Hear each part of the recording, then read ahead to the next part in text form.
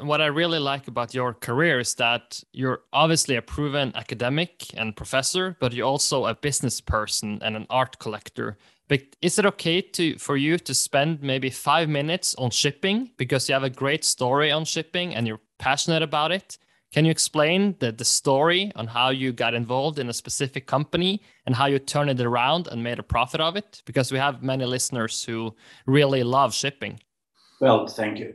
No, uh, listen, I, I have, uh, people have been working on shipping issues in my family for several generations, so I've been involved in that.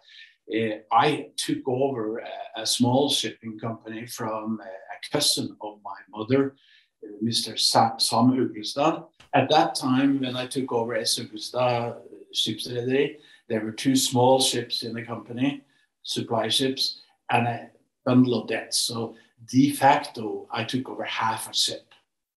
So what I then did was to spend uh, five years uh, buying out uh, the other shareholders. I took over around roughly 50% of the company from my my uh, the previous owner, and then I bought out the others over the next five years while the asset value was still low, and then I built it up. And uh, of course, shipping, as far as I can understand, is all about about timing.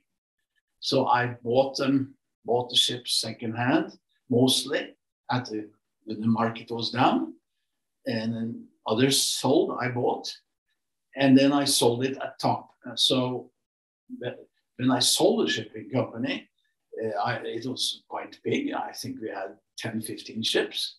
And uh, again, Eh, I was very focused, by the way. I was strictly in the offshore supply ship area. I stayed away from, I, I did some diversification and lost a lot of money on that. Bulk carriers, tankers, chemicals, reefers, which have since gone out. But, but the point is keeping focus and really understanding when to get in and when to get out, when to go long, long term charters, when to go short, stay spot. These, these were some fairly simple rules that I followed. A lot of money resulted. Obviously, when I sold it, it was emotionally quite uh, dramatic. But you know, if you are an investor and you become emotionally detached to your assets, you're probably in shit creek.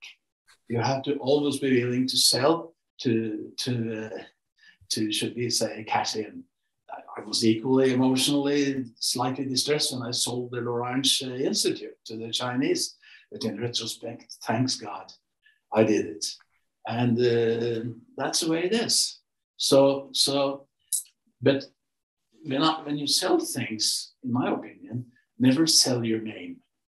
So I've always kept uh, my name, Lorange, or, or the Ugelstad name. I, my, my investment company now is SU Ugelstad Invest. Cannot be traced back to me, which well, I also think is good, by the way. I am very glad that I'm not figuring in any of these ridiculous lists of the, the, the monthly magazine Kapital, for instance. I have no interest in that. So, so stay neutral, stay be below the radar, it's bad that I'm talking to you now, by the way, but normally I don't do that. It's an, it's an excellent point, and I'm sorry for exposing you,